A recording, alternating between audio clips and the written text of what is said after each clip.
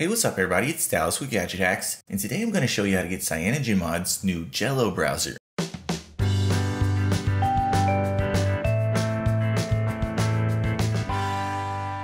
Now the team at Cyanogen has been working on this browser for almost a year now, so you already know it's going to be a good one. But basically, they built their own custom version of Chrome without any Google services, and they did that by starting with sources from Chromium, the open source project.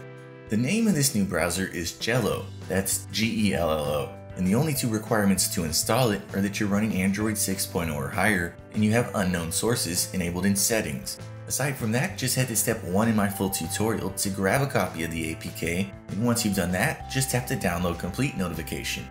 From here press install, then you'll be just about ready to try it out. Now for the most part, Gello's going to render web pages just like Chrome would, but it's the extra features that make this browser worthwhile. For instance, you've got swipe navigation features and an inverted color night mode, but all these things need to be set up first. So tap the three dot menu button at the top of the screen, then head to settings.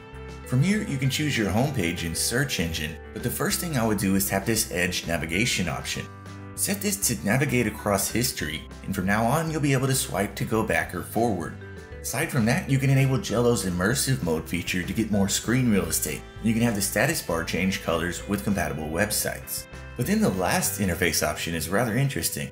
If you enable night mode, all the colors on web pages will be inverted, which is great for reading in the dark.